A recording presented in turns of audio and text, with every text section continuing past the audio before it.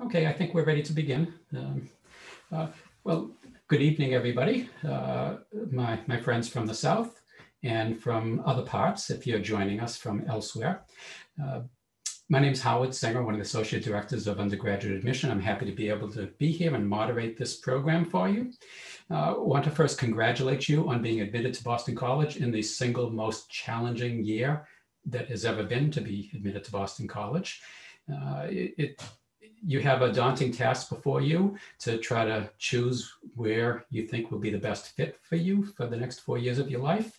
Uh, and I have a terrific panel of six graduates from Boston College uh, to tell you a little bit about themselves and their experience. And then I welcome you to put uh, your questions into the Q&A and we will be going through them. Um, and I'll be posing them to, uh, to our panelists.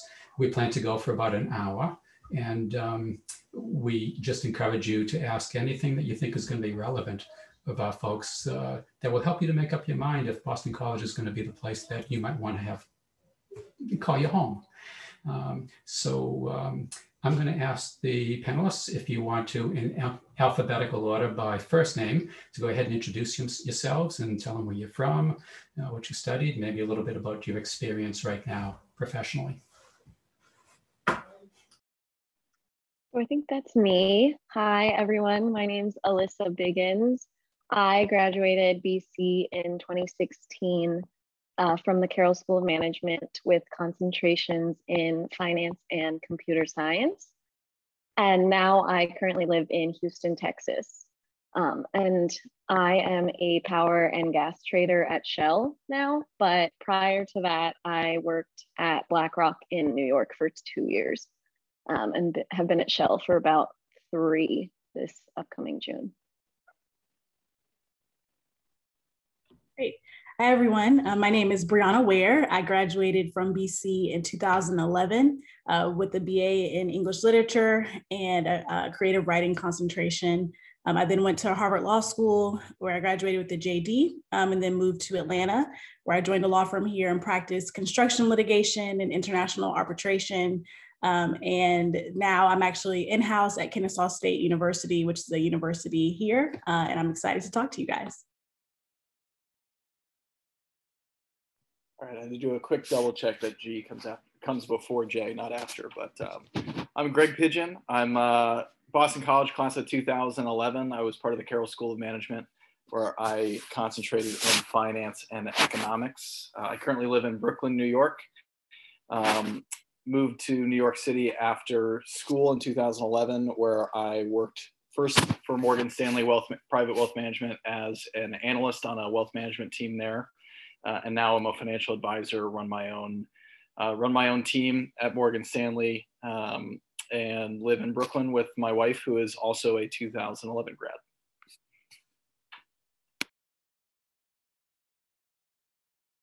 I will go. Hey guys, JW Carpenter, class of 2001, political science. Um, and then I went and got a law degree at Georgetown in 2006. Um, I've practiced, I practiced law for about four years, but I spent most of my career in the nonprofit uh, space, as a teacher with Teach for America, and now um, I recently took a new job at a new organization called Prosper Birmingham, which is focused on inclusive economic development in Birmingham, Alabama, and our, in our general region, which is where I live. And I guess that leaves me. Hello, everyone. My name is Justin Robinson, also BC class of 2011 with Greg and Brianna. So it's great to see them. And high school classmates with Greg. We're both from Phoenix. So representing the South there. Um, uh, so out of college, my career, we, we started a company called Drizzly, which uh, this none of you students should should know about. Um, but we are a beer, wine, and spirits e-commerce and delivery platform. Um, and we're currently in the process of selling that business to Uber, which is really exciting and figuring out what's next. So um, yeah, good to meet y'all. Thank you all for those introductions. Um, I'd like to start off with um, a couple of questions until we, we start to get uh, traction with our, our audience here. Uh, the very first one would be, please talk about the differences between your region, whether it's the Southeast or the Southwest, and what it was like coming to Boston for school. Uh, maybe talk about were there any adjustments, any difficulties that you had relative to climate, food, culture, uh, so that most of our audience will get a flavor for that.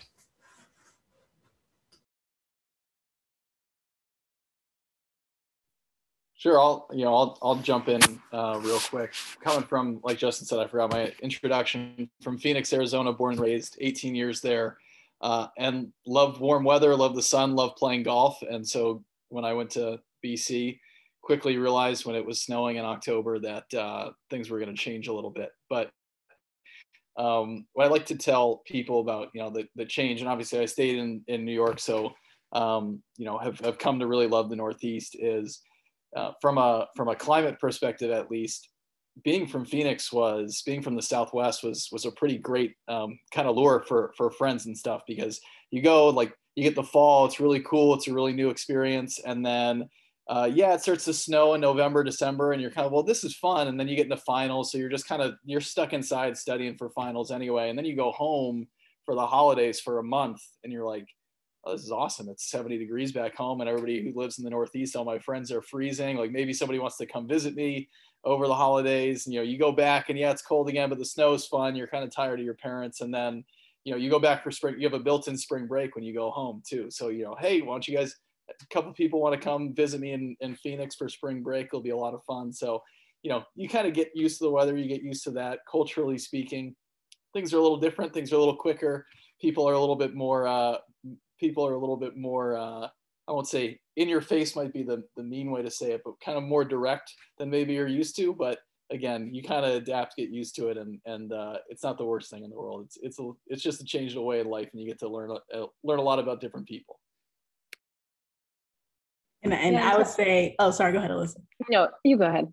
I was just gonna say, you know, I think I said I'm from Georgia, um, and so being from the southeast, the two things that stood out most to me about how Boston was different was first um, in terms of manners. I think I called someone ma'am pretty early and got chewed out um, about that, so I had to adjust on that. And then also um, football, my first football game um, at BC and I was there when Matt Ryan was there, and so we had a great team. But it was um, a very different experience from what I'd uh, grown up with in the SEC, but I quickly learned that, um, Boston has many great sports, college and professional, especially. Uh, I grew to love hockey, um, which I knew nothing about outside of Mighty Ducks um, before going to Boston. So that was really cool to see it in person. Um, and so also the seasons were something that I, I didn't really anticipate, but having a true fall very long winter, spring and summer um, was was really really cool and something that I miss still. Alyssa, if you wanted to add something, please? Uh, sure. Yeah, I was just going to say, adding on to the cultural aspect, I was very prepared to going into the Northeast, uh, thinking that everyone was going to be kind of, as Greg said, in your face and everything's a lot quicker and things in the South move a little bit slower. But I don't think that that was 100% the case just because I met people not only from the Northeast, but from all over the world because BC doesn't just attract people from the Northeast. So I think most of my friends at BC were actually from other states um, outside of the Northeast. So culturally, it was kind of cool getting to experience lots of different cultures and not just the North.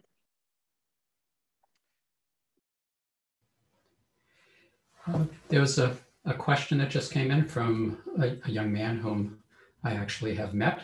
Uh, from Alabama. So maybe uh, JW, you might want to start with this, but I would welcome anyone. I wanted to know about what you hated to part ways with when it was time to leave Boston College. Well, first of all, hello, Christian. Congratulations on your acceptance to Boston College. This is one of our local Birmingham City School students, so I'm very proud of Mr. Hawkins. Um, so I would say um, there were a couple things for me. The first, I mean, the first, and, and I think this will be true of everyone to some degree. Um, I, I, mean, it was very hard to leave my friends. Uh, you know, I ended up going to rural Arkansas, then back to DC, then back to Alabama. Most of my best friends are just spread all over the country, and that that is a tremendous professional benefit. Uh, but personally, like I wish I saw them more. I wish I hung out with them more. And you know, I, I think I'm proud to say we we lived it up while we were there, and we had a lot of fun. But it was very hard to leave them. I would say the second thing that was very hard to leave for me is I felt like at Boston College, and and you know, I am not Catholic. I wasn't raised Catholic. I don't practice Catholicism.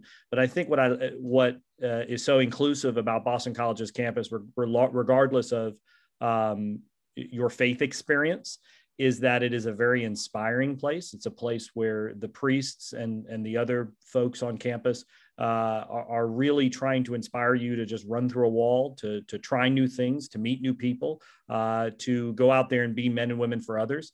I think I like to think that spirit carried with me uh, in in my life and my work, but I would say it was far easier uh, when it was bottled for four years on campus. And so those are the two things that I miss the most.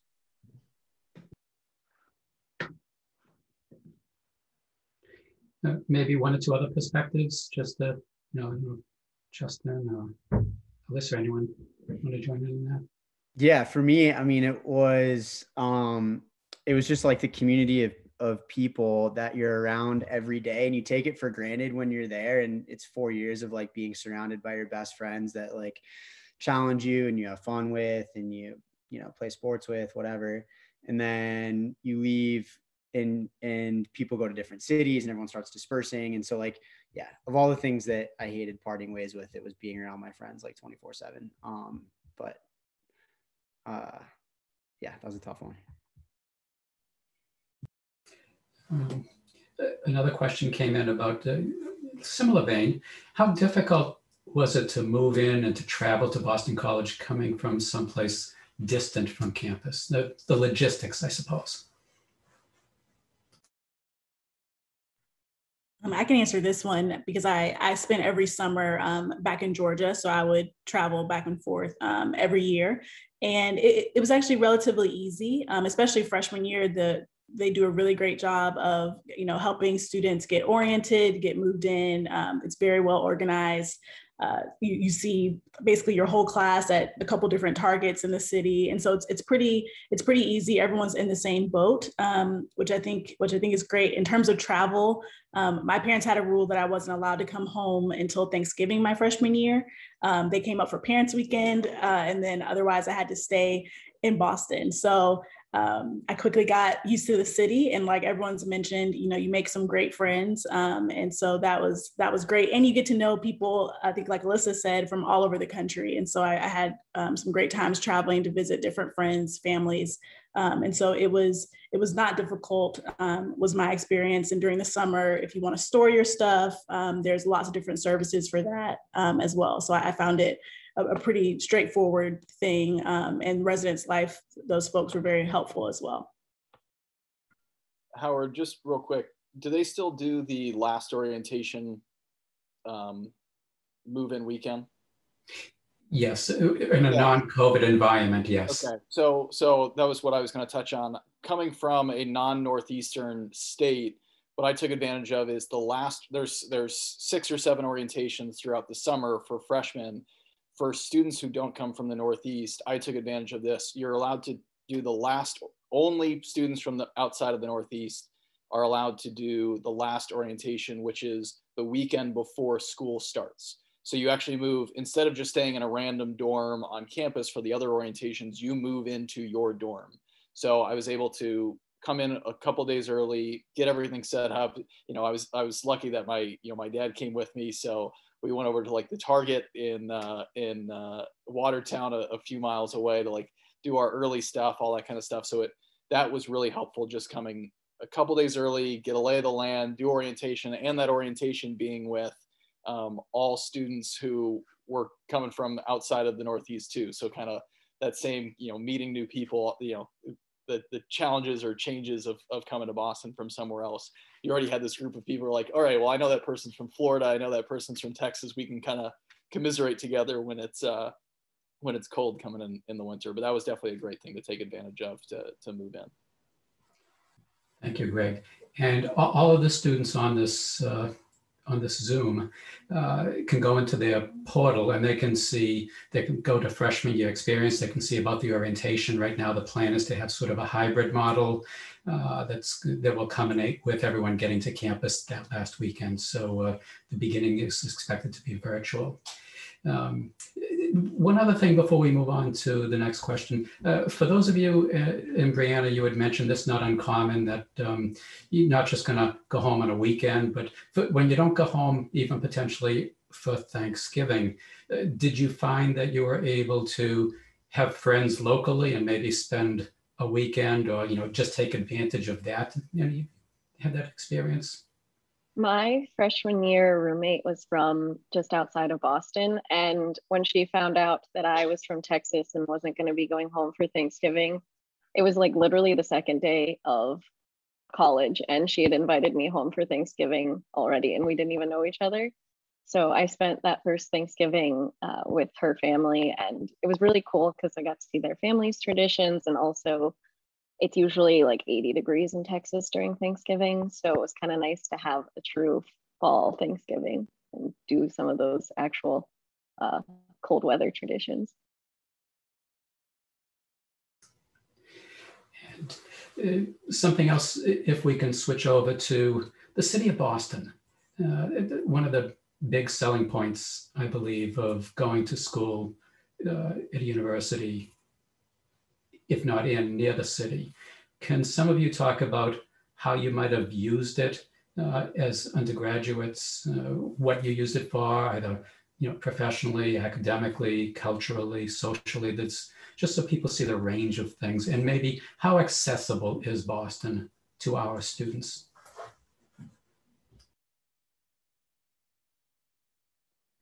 I can jump in here um, coming from a, a, city that had very little uh, public transportation outside of kind of the city center, I was really nervous and really excited about learning um, the T in Boston. Boston is super accessible. You can walk um, a lot of places. BC is at the end of the Green Line. Um, and so there's a very easy, there's a literal a subway stop like on campus right across from the main um, gate. And so it was really easy to get into and out of the city. I, I took advantage of it, especially socially, I would say. Um, I had friends at Northeastern, um, at some of the other colleges. And so it was really easy to get to get in and out. And I spent a lot of time trying to discover new places to eat um, in Boston. And there's a great food scene there, lots of great seafood and other food. And so I spent a lot of time going in um, to the city and wish I had actually spent more. Yeah, we all the time would go in for like it's cool to have multiple big um, professional sports teams uh, downtown and at the garden. It's super easy to get there on the T. And I mean, with Uber these days, I guess Alyssa, you're the only one that really got to experience that out of us. But that makes getting into the city much easier. So it's, but you're right next to like you know such a thriving amazing city with so many students in it that um but but you're, you're like you're not like right in the city center so you still have this campus feel. So the combination of being like right next to this amazing like bustling city where i still live today like 12 years later um you know but having your campus feel as well like you can't get a better combination than that i don't think than at bc one of my classes also incorporated going into the city. It was a class I took my sophomore year called Pulse that incorporated philosophy, theology, and volunteering.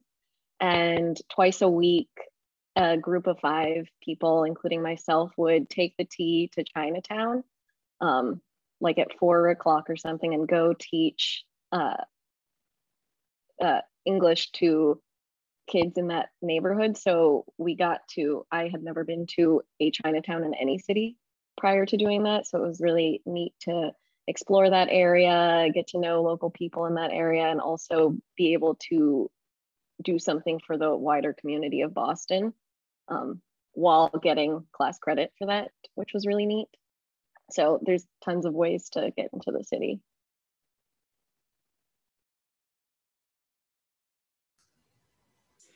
Thank you. Um, a, a, question came in and um, somewhat specific, but, uh, and I'm going to expand this for all of you. How strong is the job placement in networking in the South? And um, so some of you have had experience with that, but can you also maybe have uh, someone else speak about the alumni network overall and the advantages of that, uh, not just in the South, but nationwide, because so many of you have had experiences not exclusive to where you grew up.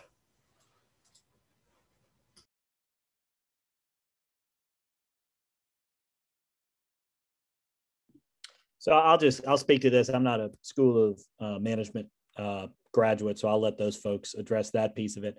Um, what I would say is is that you know uh, if you're in Birmingham or in Alabama, you know our most prominent Boston College alum is Bruce Pearl, who's the coach of Auburn. You know I used to be kind of near the top before he came in and just big footed me. It's really frustrating. Um, but what I'd say is like there are certain places where the Boston College specific network isn't going to be as large as say in New England or probably on the coast or in major cities. But I think the name just rings out when people see that I went to Boston College or went to Boston College.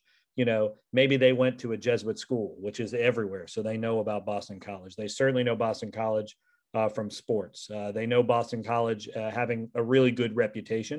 So even if you don't necessarily have that network, but uh, you're, you're going to have that reputation, which is incredibly helpful. And then every once in a while, you're going to meet someone who went to Boston College or uh, their kids went to Boston College. And while that's a maybe, you know, your, your network's bigger in Boston, if you meet someone in Birmingham who has a tie to Boston College, like you are friends for life. So it's a very deep, deep uh, relationship in Birmingham or in Alabama or the South, even if the network isn't quite as broad? Yeah, so I had mentioned earlier, I started my career out in New York, and about two years into my first job, I decided I couldn't stick it out like Greg and needed to move back closer to home. And so I literally Googled largest employers in Texas and started applying to like random jobs uh, that I felt I was somewhat qualified for. And I made it through like three different phone interviews at Shell uh, to work in their tra- on the trade floor. And my in-person interview, my very it was four different rounds of different people, and my first uh, in-person interview, the guy sitting across the desk from me just happened to be a BC alum and we hit it off immediately and he was like wow it's crazy that you were like in houston and are applying for this job and i happen to be interviewing you. And so the interview just started off on such a high. So when i got through other interviewers i even if i didn't necessarily know the answers or wasn't super confident in what they were asking necessarily i had started out so high and had that initial bond that I felt really good going through it and ended up getting the offer and have been there three years now. And while that guy is not my manager and uh, we're not even on the same team, we actually pre COVID did quarterly lunches where he we would go out and talk about different BC traditions and talk about what's going on in our personal lives and all of that. So you kind of never know where you're gonna meet them, and when you do, uh, like JW said, it's pretty awesome because they're not necessarily as prominent as it is in Boston. Yeah, and then I'll just you know jump in from uh, again. I stayed in New York, so so going to the South, this this will uh, won't be as as tight in there, but just about the alumni network in general. Um, to me, it was a lifesaver. So my junior year, after my junior year, I went and uh, got an internship with the NBA, which was awesome, the National Basketball Association.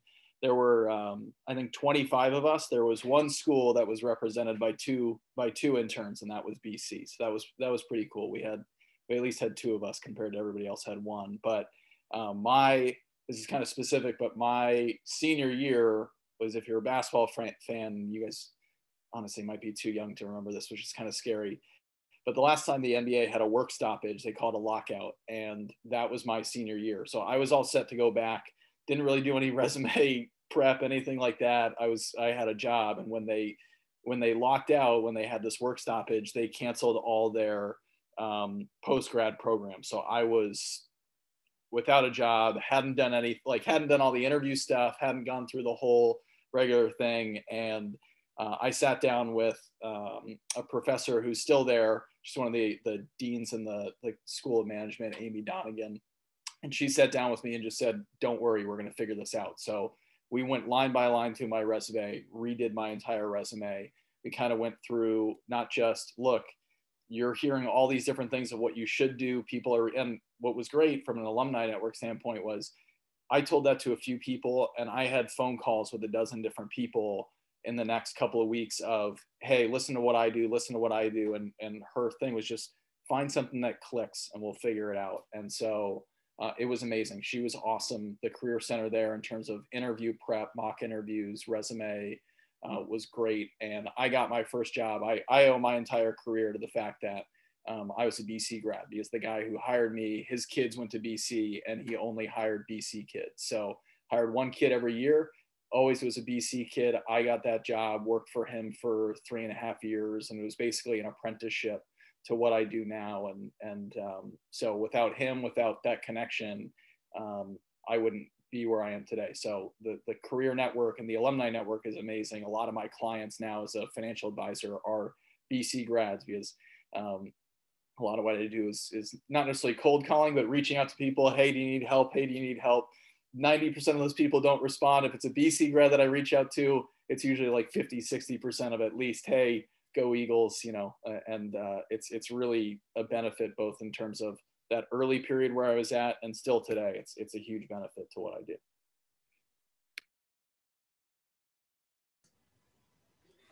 Well, uh, Alyssa gave gave us the perfect segue for this next question, and uh, so let, let's put the fun into this now. Really, really fun, um, and I want each of you to answer this, and you can if you want, you can go in the alphabetical order so you don't step on each other. But uh, some folks want to know what's your favorite tradition? And, um, and, and have a couple backing up if you don't go first so that someone else doesn't steal yours and you have nothing left to say. So, one of my favorite traditions is probably uh, not necessarily the normal one that someone would give the answer to, um, is called the Red Bandana Run. So, in I assume it didn't actually, I know it didn't happen this year uh, because of COVID, but there was a virtual one. So for those of you not familiar with the Red Bandana uh, story at BC, there was a BC alum, uh, Welles Remy Crowther, who died in 9-11 because he was working in the Twin Towers and uh, his dad had been a firefighter. So growing up, he'd been trained um, in, I guess, basic saving people and was taught always to carry a red bandana with him. And so as he was able to get out of the towers, but ran back in when the towers were still crumbling and people were stuck inside. And he uh, ended up saving uh, at least four accounts that have come forward saying this man in the red bandana saved him.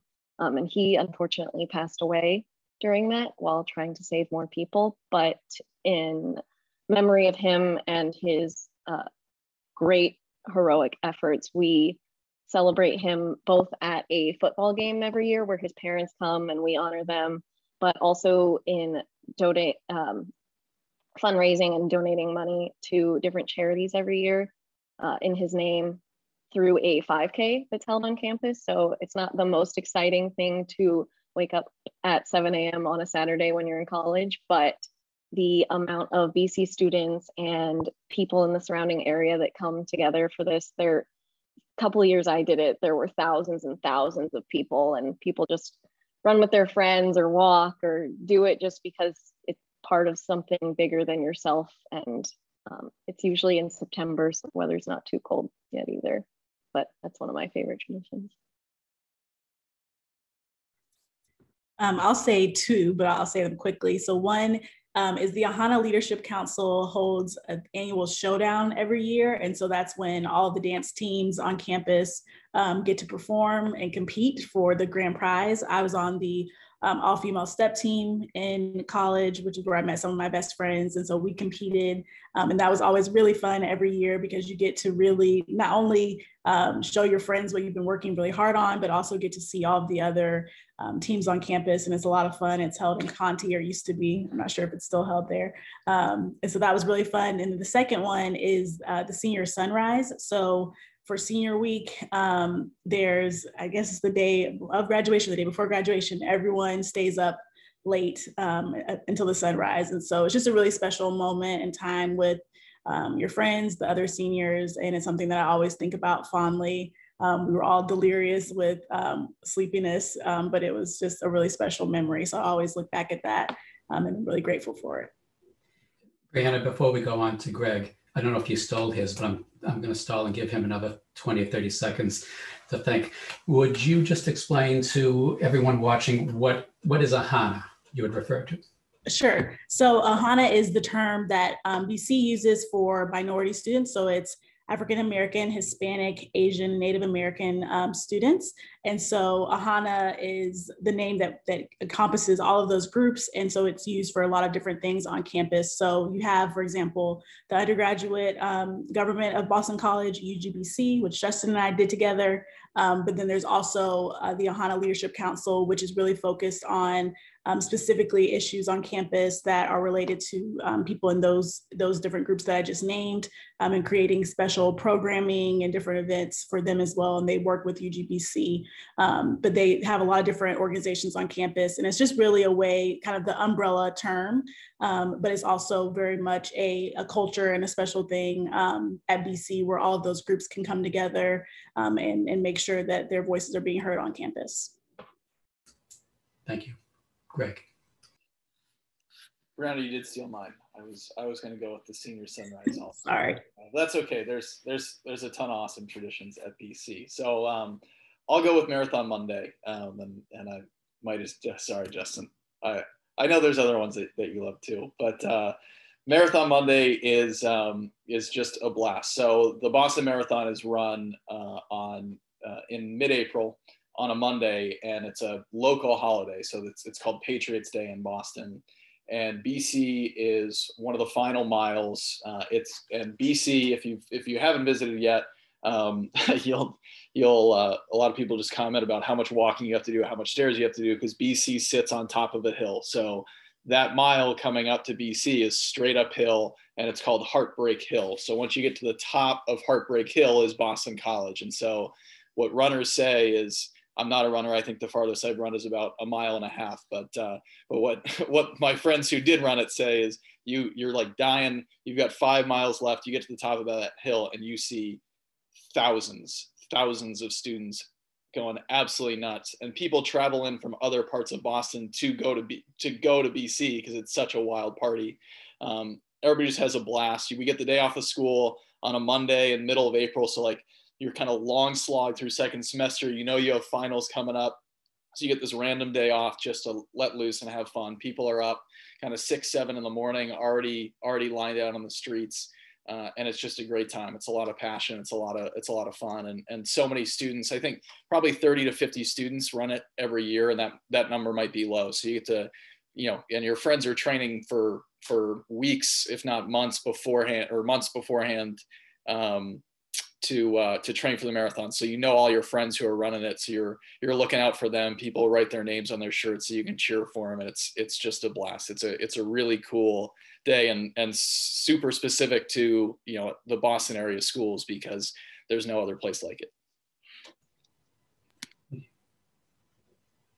I thought Justin had just quit. It's like he's running out of answers. Just turn the screen off. Uh, Marathon Monday was going to be mine. So um, I guess I will say uh, probably the superfan shirts. Um, I think that started more or less around when I was there. Uh, is that correct? I think 9701, something like that.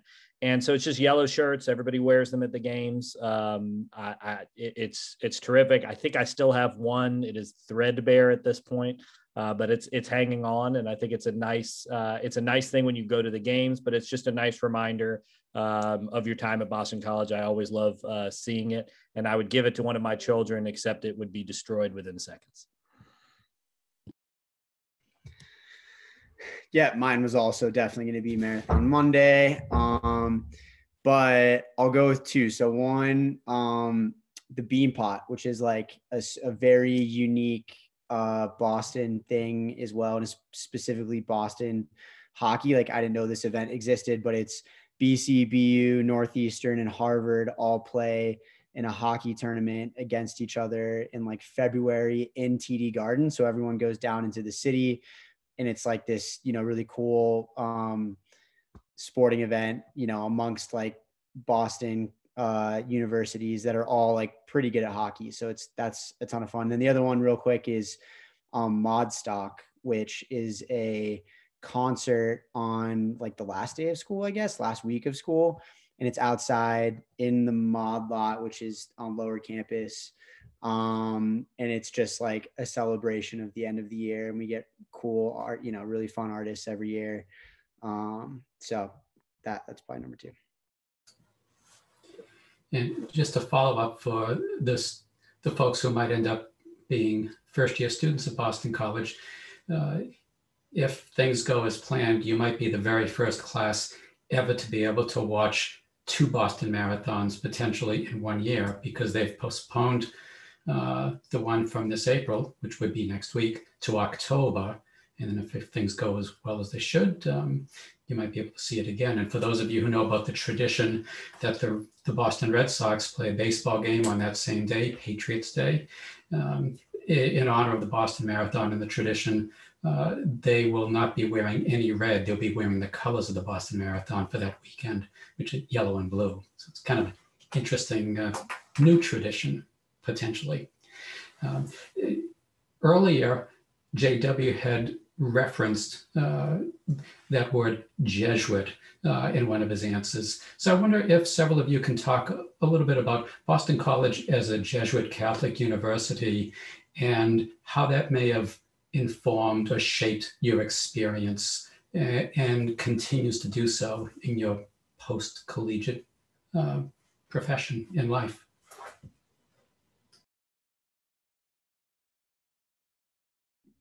I'll kick off because oh sorry Brianna if you want to go you can go no go okay um so yeah someone uh uh frankly also not Catholic um but what I loved about the like the Jesuit way of being was the persistent curiosity and like the sort of encouragement for folks to have discussion and to have discussion with your professors and to have discussion with your classmates. Like there's probably very few other um, and maybe not but just from my friends that went to other colleges like i think that we actually like we talked about as roommates and as classmates like faith and spirituality i think like frankly much more than any other friends that i knew in college. And that was an incredibly like healthy and really cool thing about what the jesuit experience um sort of lends itself to. So just awesome like uh, encouraging curiosity um, and really encouraging conversation and dialect, but in like a really, you know, like I don't know, like delightful way, if you will, that just got everyone talking. So um, that's what it did for me. And then obviously the customer service or customer, the uh, community service aspect of of the Jesuit way too was was a big big thing for all of us, I think yeah, that, that kind of ties into what, what I was going to say, um, which is that I think part of the Jesuit kind of ideal and approach to education is the care of the whole person. Um, and so it was really important that they weren't just trying to educate you academically, although you do get a, a great education academically, but also trying to help you develop um, as a person spiritually, but also emotionally, just on every level. Um, and the way that that's been, I think, particularly impactful for me is that it really um, gave me an appreciation and an understanding of the importance of empathy um, in not just in interpersonal interactions, but in everything. Um, in my professional life, just having the understanding that the person on the other side of the screen, of the cord, of whatever it was, is a person. Um, and that even though they may have a different background religiously, racially, whatever it is, um, that they're still, you know, in the Jesuit kind of sentiment they're a child of God and someone who's worth knowing and understanding. And that's been really impactful. And I'll put in a, just a quick plug for the retreats at Boston College. Um, campus ministry does just some incredible retreats on campus. Kairos is one, um, Halftime is another, um, and they're not all religiously focused. So there's 48 hours, for example, um, for freshmen, where it's just a weekend away, that time to reflect, to get to talk about, you know, the challenges and the great parts of freshman year, to get to know other people. Um, there's Halftime, which is a vocational retreat that starts getting you to ask those questions about what brings you joy? Does the world need you to do it? are you good at it to kind of help direct your um, career paths. So there, there are just some really great opportunities for reflection and empathy um, at BC that I think is the result of the Jesuit education. And I, I'm really, really grateful that I had that. So I think both of those answers were just terrific. Um, I will just tell you that the Boston College and the Jesuits changed my life. Uh, I've probably overstated over the years, and I'm sure other people have. Like, well, this changed my life. I will just say this: I don't take this back. I said what I said. Boston College changed my life. Um, I think that, but there are a lot of really great schools, and and likely you guys are choosing from among a lot of really great schools. I think the thing that I've seen that sets Boston College apart uh, and I'd echo Justin's answer and, and Brianna's answers as well. I, I, think that Boston College spikes in service. You know, if you go to Boston College at some point during your four years, you're going to volunteer, you're going to do some sort of service. And some people will go all in on that. Some people will just do it for a day here and there. But I think it changes your life. The message I got from the Jesuits very clearly was this is not for you, it's for the world. What is the point of your education? So what? And you need to go out there and be somebody and they will challenge you and they will challenge your mind and they will push you and that is good for you as frustrating as it is it is good for you it is good to go somewhere new it is good to meet new people it is good to have new experiences it is good to be uncomfortable uh, and I will say, as a six foot tall, straight white male from a high income background, I don't have to be uncomfortable. I don't want to. And it was good to be uncomfortable. It made me a better, more joyful person. And so when I, that's the reason I did teach for America. And then when I went to law school and was a rich lawyer for four years, which was just outstanding, and I really liked it, and had the opportunity to go run Teach for America and launch Teach for America in Alabama, I felt the Jesuits in my ear. I felt them in my head. It's like, what are you doing? What is the point of you? What was the point of these four years? And that's what I did it. And I went to another nonprofit that supported kids in the city schools, great kids like Christian, who you heard it here. And then, you know, 40 days ago, I took a new job to try and help with inclusive economic growth, helping startups, helping small businesses, making sure that Birmingham and our regional growth is for everyone and not just for folks kind of look like me. And I would say I would be net, I would have made zero of those choices without the Jesuits. Uh, as annoying as it was to be challenged and pushed and told that I really didn't know everything at 20, which was super frustrating because I was confident I did. Um, it turned out that was really good, really good lesson in humility uh, and a really good lesson in what you can do with a Boston College education. And you don't have to do what I did. Uh, you see on this call, people are making lots of different choices and having a great impact.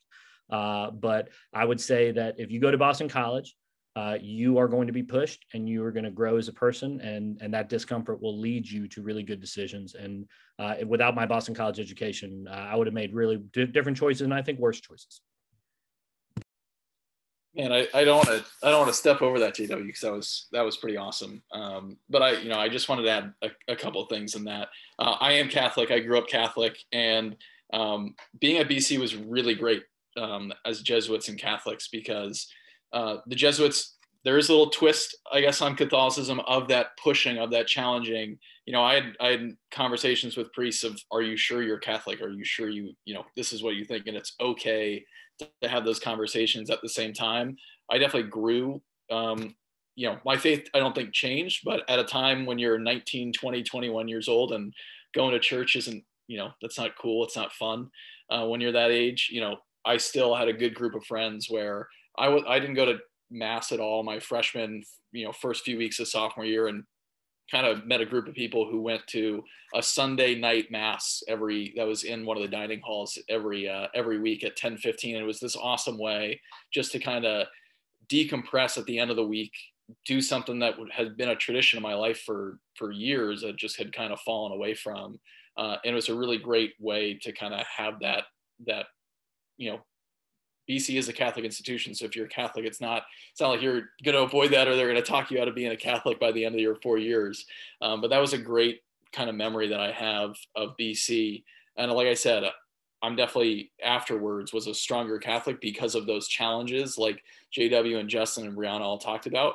I came out of those challenges saying, yeah, I, you know, I really like this stuff. I this is a part of me, and I had plenty of friends who came out of it saying you know, I don't really think so. And it wasn't a right or wrong answer. I don't think the priests that I, you know, the priests were happy that those people left, you know, left the left the church, but at the same time, I think they were happy and confident that those people knew who they were rather than it was tradition and what they grew up doing and what they had always done. So it was great for me. It was great for those other people who had different experiences too. Um, thank you all. Uh, terrific way of uh, distinguishing Boston College from other really fine institutions that our registrants are, are likely considering. Um, Jaden has a question. So many of you have gone on to get a professional degree. Could uh, you talk a little bit about how Boston College helped to prepare you for moving on to uh, a graduate program through the application? And, and I want to add something else that maybe one or two of you might be able to also furnish our audience. Um, it, relationships with professors. I mean, do you feel like you've had mentors? And are there folks that you might still maintain a relationship with?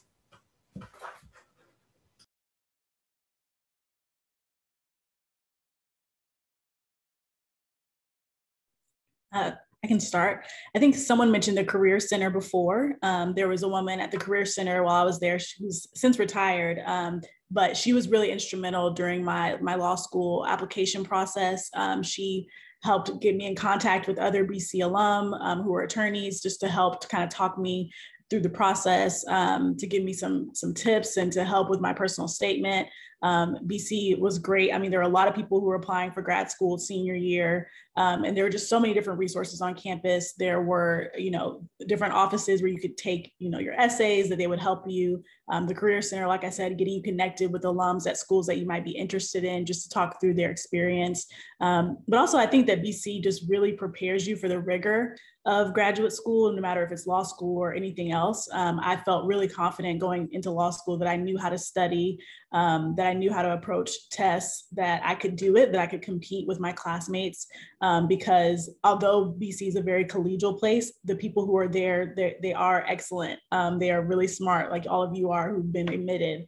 Um, and so you get used to working hard, you get used to being around other people who persevere. Um, and so I think that's really, really useful for graduate school and especially for your first year of law school, um, for those of you who are interested in that.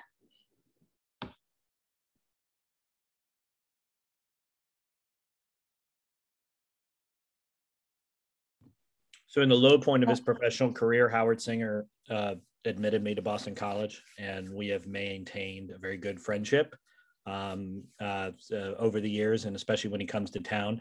Working in the admissions office was terrific, and I remember when I was applying to law school, certainly like having Boston College on the resume was very helpful. Uh, so was Teach for America, and I wouldn't have gotten into Teach for America except for going to Boston College. So um, there was a multiplier effect there.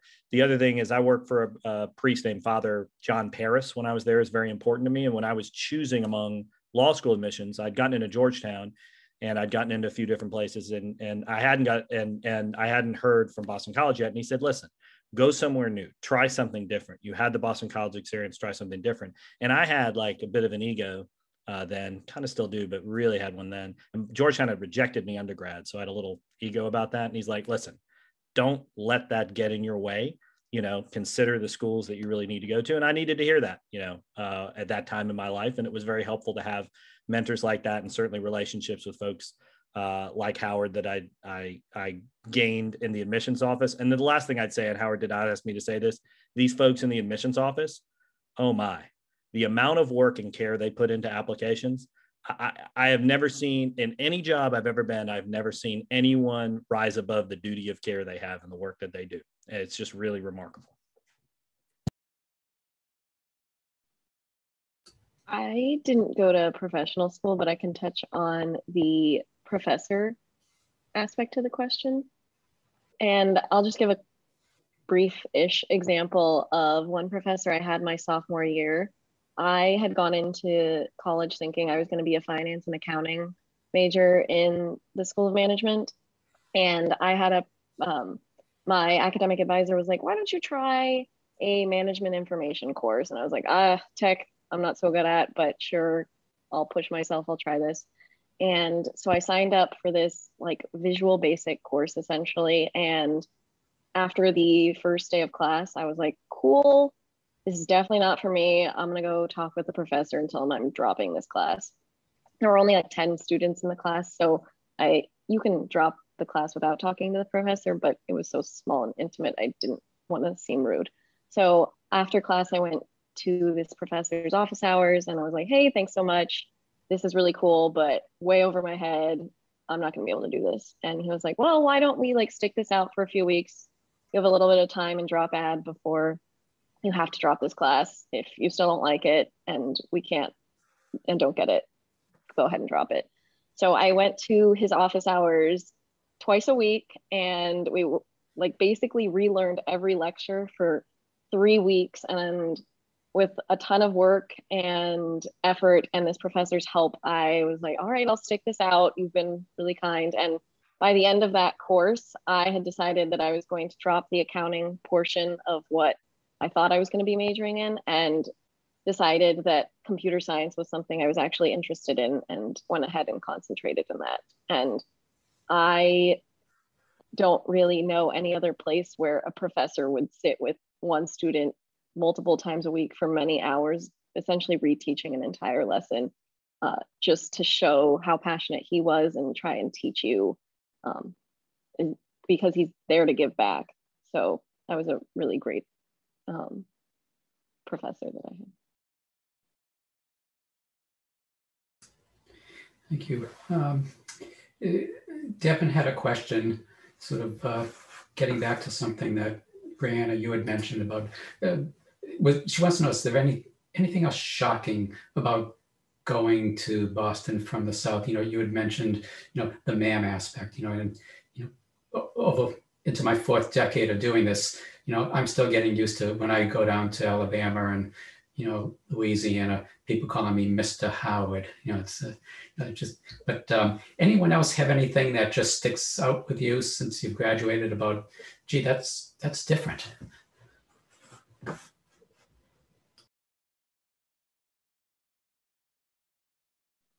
they talk funny up there. The Boston accent is quite strange and definitely takes some getting used to, especially on the T when you're trying to listen to the conductor. You're like, I have no idea what they just said. Um, but uh, in seriousness, overall, there really wasn't anything that was like that culturally shocking. Um, I, people do talk a lot faster, and I did have to really concentrate on listening to people, especially professors that were from that area, uh, just because honestly, like the accent and the speed is much faster than it is in the South.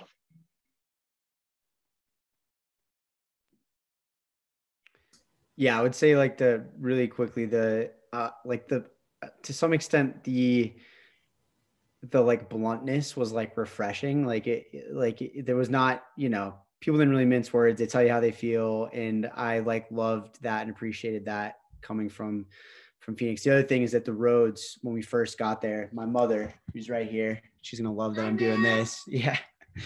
Uh when we first landed, she's like, "Oh my gosh, these roads are crazy because they just they're nonsensical because it's such an old city, and the uh, especially downtown, like there there's no grids. You know, it's all like a complete mess. And Boston drivers know what they're doing. And when you're from the South, you don't know what you're doing up there. So that was definitely a shock as well for her, not me. Well, it, as a native Bostonian, I'm both full of pride listening to what you're saying and deeply embarrassed for, for my own culture. Um, maybe one, one last exit question. Uh, could each of you give a bit of advice, you know, one of those, what would you say to students now about making this decision? Or the old, if you knew then what you know now about the, you know, with all your experience, um, any parting words that you would give to all the families that are watching?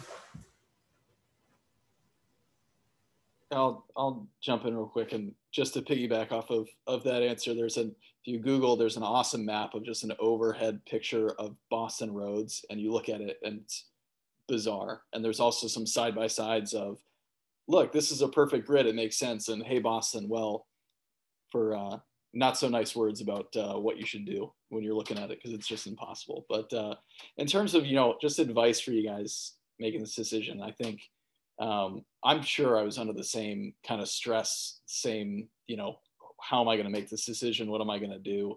Um, but when I talk to, to students now, it, it seems like that has just gotten ramped up more and more. Maybe I just am far enough away from it now that it doesn't seem like I, I was thinking that that same way. But I would say you got into BC, you probably have better grades than than we all did when we got in, better SAT scores than we did when we all got in because it's just gotten harder and harder. You're probably looking at awesome schools with great opportunities. Um, you know, JW, I you know I thought that was great in terms of you know how BC really did change your life.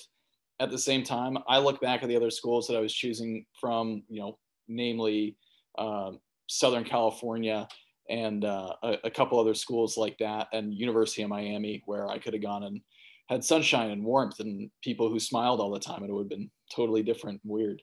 Um, you know, BC was perfect for me. And at some point, I came to the realization that I was going to feel really comfortable, really comfortable there. I would think for most of you, there's there's something in, inside you saying that this is where I'm supposed to be. I also feel pretty confident that if I had gone to one of those other schools, I wouldn't have had a miserable time, right? I wouldn't have had a miserable time in Southern California with great sports teams and an awesome campus and really great academics, or you know, outside of Miami with a great campus and great weather and you know, great sports teams, all the kind of stuff that I was looking for. I think I would have turned out okay. I would have turned out different, and I wouldn't trade my BC experience for anything. But you're probably looking at great schools you know, as much as you can, I think my advice in terms of what I would do is try to take the pressure off a little bit because you're probably going to have a great experience no matter where you go. The reason I chose BC was uh, everybody I talked to just seemed when it when they told me about their BC experience, it just seemed a little different. It got me a little bit more excited than the people who I talked to about the other schools again, that doesn't mean I would have had a terrible experience at those schools or I would have I would have been a terrible person if I had gone there. I'm sure I would have had a great time, but just something clicked for me and it felt right. As much as that isn't a, a this is how you should choose, it worked. And I, you know, hopefully I, you guys are going through the same thing and kind of have the same feeling one way or another, whether it's BC or not. I would just echo that. Um, you know, again, congratulations to all of you guys. And, you really cannot make um, a, a, poor choice, I don't think, when it comes to colleges. You've all gone into great schools. Um, the reason why I chose Boston College was because it really, it felt like kind of the Goldilocks thing where I was looking at schools that were, I thought, way too big or way too small. And BC just always seemed to kind of hit exactly the middle mark um, of what I wanted.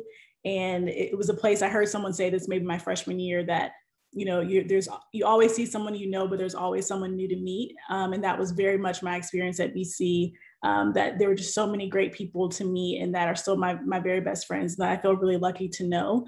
Um, but the other thing i would tell you in terms of advice to kind of let the pressure off is that um, these next four years are going to be incredible. You'll have challenges, you'll have triumphs. It'll be some of the most joyful um, experiences that you've ever had. But it also doesn't have to be the four best years of your life. I think it's going to be a great time. But I, I remember just feeling so much pressure about college is the best four years of my life, and I have to make sure that it's amazing every day. Um, and again, I had a really great experience at, at BC, but really, your life only gets better um, every year I, in, my experience. And so I would just say you've all gone through a really difficult and challenging year um, in many ways. And so you already know that you are um, incredibly strong and that you can per- persevere. Um, and so just hold on to that and that you'll learn more about who you are um, and that you're going to do great. It's going to be great. Um, and just go to BC. But even if you don't, congratulations. And it'll be, it's going to be great. I can't do better than those two answers. Just listen to them. I was literally literally gonna say the same. Yeah, we're we're at time and like those were extremely eloquent. Um and yeah, y'all have a really difficult choice ahead of you, but you know, I think all of us obviously can confidently say BC was for me the best choice I ever made. Um, like no question about it. But um, good luck to all y'all, and again, congrats on getting in. Yeah, you guys have done the hard part. Now you just have to go with your gut, have fun, and congratulations. Well, wonderful words of advice, including uh, those who've echoed the words of advice and those that came before them. Nothing wrong with that.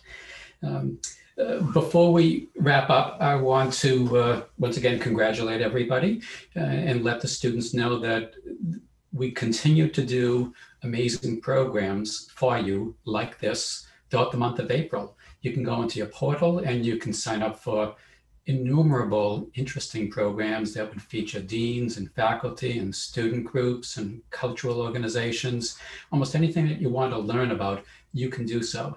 Uh, we're sending out weekly emails to all admitted students that give you an update. But you go, you can go and find out all those things right now and sign up for as many as as you think interest you. Um, Howard, real quick, sorry, I just wanted to jump back in and, and say one more thing in terms of that advice do your if you choose BC and don't have a great first couple months, try to stick with it. Um, I was fortunate. I loved BC when I got there. Um, my brother actually went to BC and had a terrible first semester. Felt like he was in the wrong place. Felt like Boston was too different from where he came from. And now, if you ask him about Boston College, you'll get three and a half hours of why Boston College is the perfect place for you and why you should be there and every single thing that you should do while you're there. So, and I had plenty of friends who had similar situations where they stuck it out, they got through it and, and loved it, especially coming from different places where it does seem kind of strange. Great. Thanks. That's an important perspective, uh, Greg. We appreciate you adding that. Uh, so you, we hope you all stay safe uh, we know this has been a, highly challenging year, and for some of you, um, families traditionally like to visit schools uh, the end of junior year when there wasn't much happening in schools and then into the senior year. And so you might be in the position of making a choice without actually visiting the school. And that's why we have such extensive programming. But we are doing tours, actual tours just for admitted students uh, very responsibly, very small tours. So, uh, and because they're small, they're capped uh, at about 20, um, which is typically one student and one parent. Um, you, you would, if you want to do that, you need to go in and register for those, um, and they fill up very fast. So I would encourage you, for those of you who don't want to make a decision without seeing the campus, this is the opportunity to do so. So everybody, congratulations. Thank you. Thank you to our wonderful panelists. I appreciate uh, the enduring relationship uh, that you have with Boston College and with, with those of us in admission. And I wish everybody a good night. Thank you.